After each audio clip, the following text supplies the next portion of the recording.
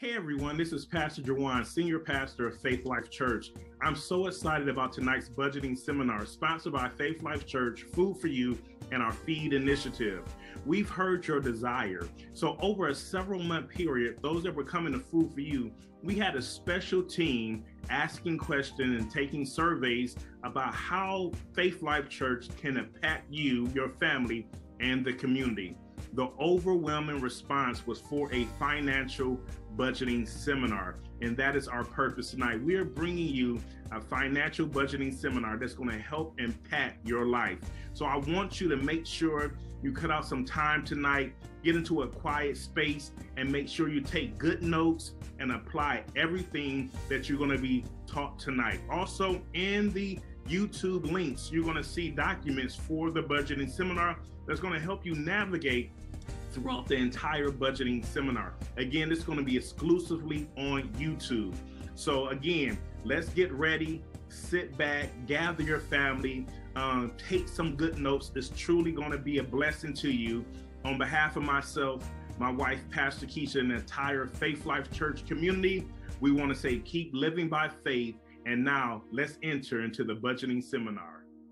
Welcome and thank you for making the decision to invest the time to build a firm financial foundation for you and your family. During our time together, I'm going to discuss budgeting and purposeful ways to reach your budget goals. So, what is a budget anyway?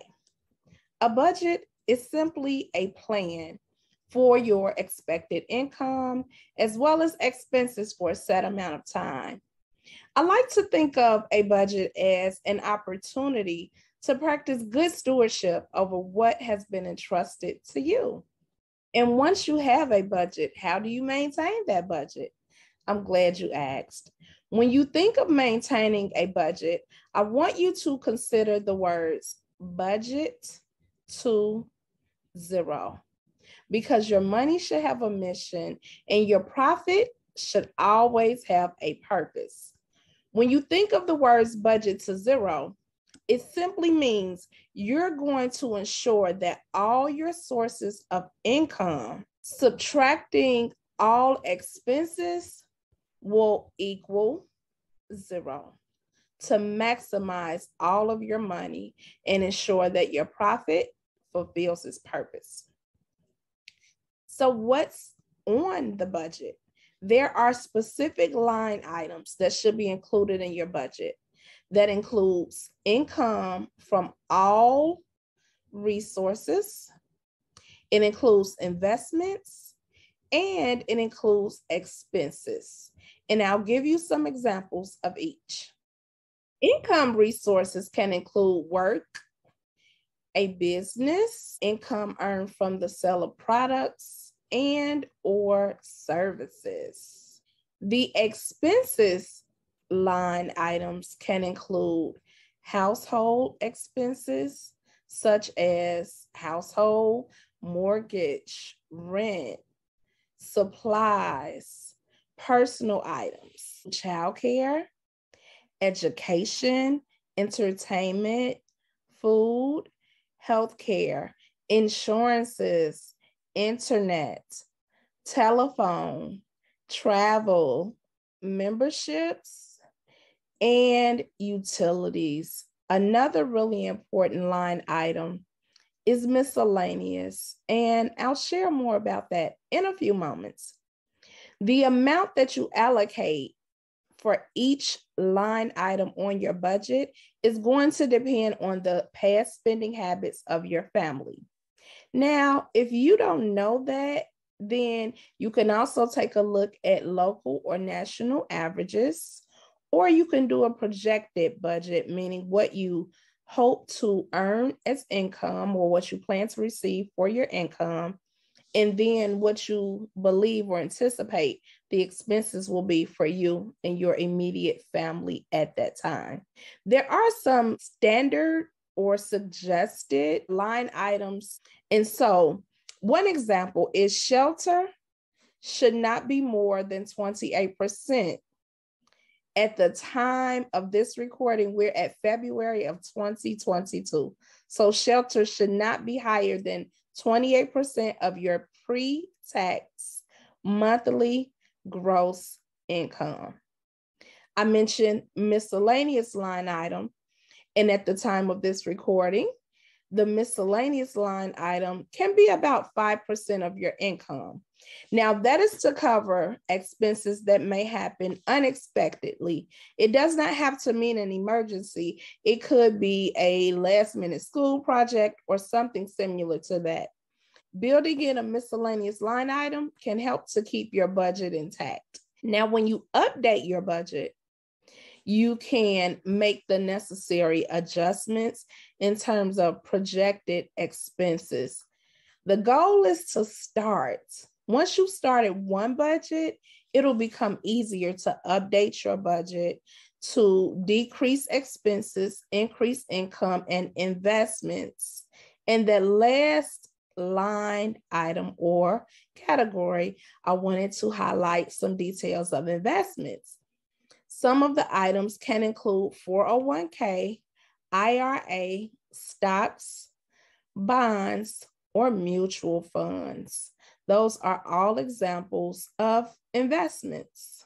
Those items are listed as investments because it is anticipated that you receive a return on your investments. Now that we talked about what a budget is and some of the line items, let's talk about budget goals. So, a very important goal is debt elimination. Equally important is wealth increase, savings increase, investment increase, and a low debt to income ratio. And five ways to actually reach those budget goals includes understanding that money is a system. I encourage you to continue investing the time to learn that system and then work that system to benefit you and your family. In some ways to reach your budget goals includes completing a talent inventory. A talent inventory is identifying what talents you possess what talents have been instilled in your immediate family, the people who live in your household? What are the talents entrusted to each person? And once you have created a talent inventory, identify what business can these talents be related to that can increase the amount of income we have coming in and eliminate the debts or the expenses that we have going out of our household.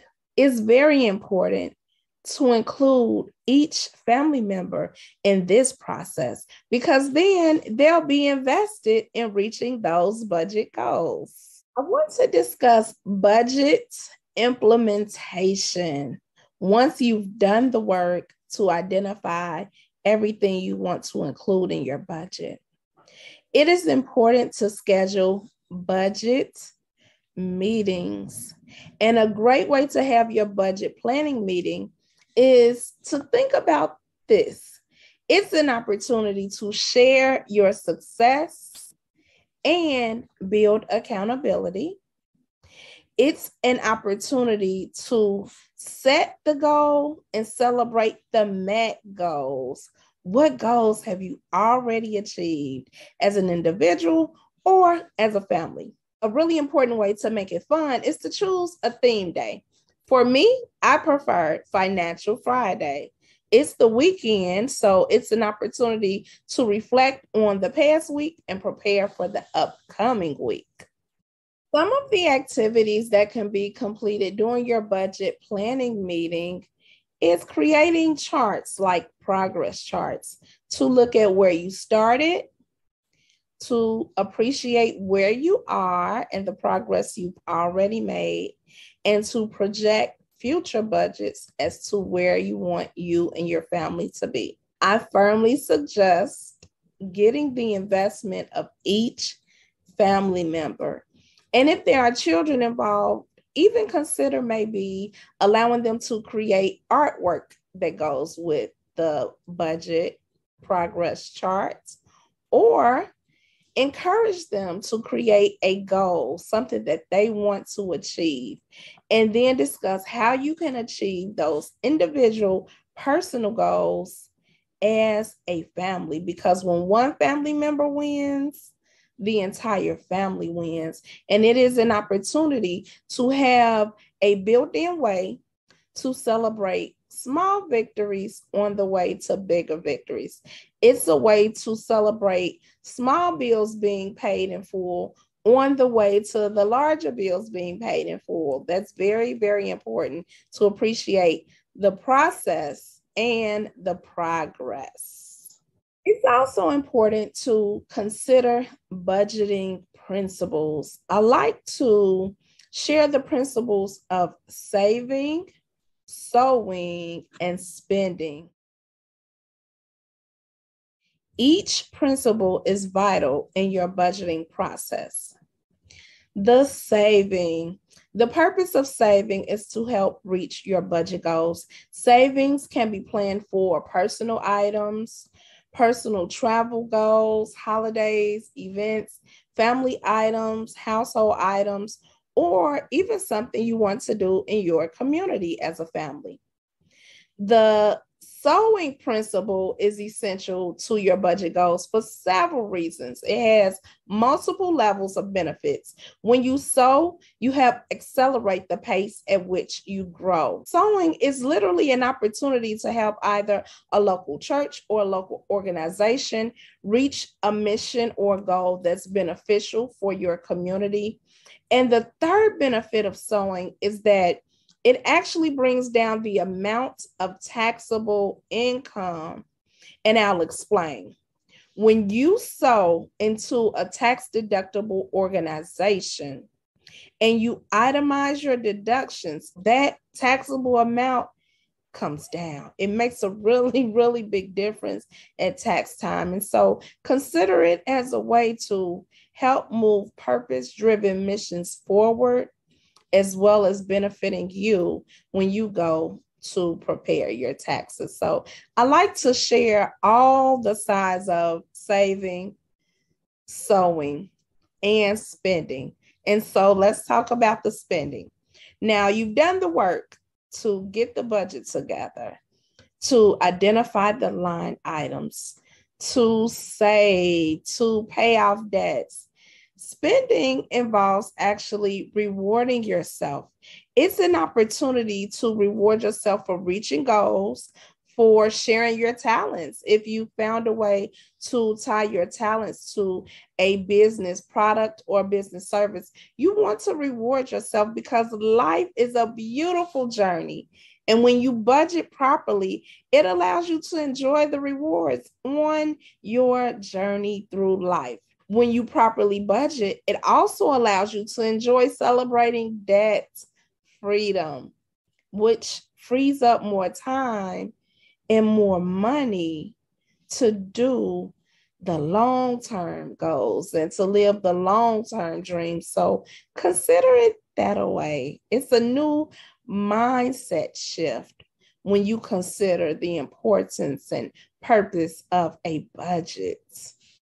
I also encourage you to celebrate when debts are paid in full. Celebrating even the start of your journey can be encouragement to keep going and to stay focused on your budget and meeting your budget goals and implementing those principles that I discussed earlier.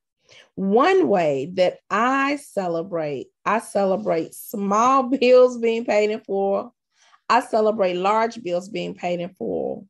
I even celebrate debt forgiveness because that's a big deal. And so, one way I celebrate is the music. I literally have a financial playlist of songs that are great motivators as it relates to my financial goals. and planning for the next level of increase. I play those songs as often as possible to stay focused and motivated on my budget goals. Another important way to celebrate is to actually speak out loud what you want to see happen in your financial life. And what I mean by that is, I declare and decree an agreement with the word of God as it relates to the promises of God for my life and for my finances. And I encourage you to do the same for yourself and for your family. You will receive a bonus package that'll have a list of scriptures, declarations, and decrees that you can make personal and confess over yourself and your family. I hope that you enjoy your journey building a firm financial foundation for yourself and your family. I thank you for your time viewing this video. Continue kingdom blessings of success and progress in every area of your life. Hey, everybody, this is Pastor Jawan back with you. My prayer is that this financial budgeting seminar was truly a blessing to you and your family. If you were unable to download the documents from tonight's seminar, just send us an email at visitflc at gmail.com. Again, that's visitflc at gmail.com and we'll get that right to you. Well, our purpose is to provide powerful seminars like this to help you live your best life. So if you know some similar seminars that you're looking for that will impact your family and community, please let us know. Give us your feedback so that way we can truly be a blessing to you. On behalf of myself, my wife, Pastor Keisha, and the entire Faith Life Church community, we would just want to let you know that we love you and we encourage you to check out our broadcast every Tuesday morning at 10 a.m., Thursday nights at 7 p.m., and on Sunday mornings at 9 a.m. live on YouTube, Facebook, and Twitter. Well, again, I hope that you enjoyed yourself and, like always, have a super productive day. God bless you.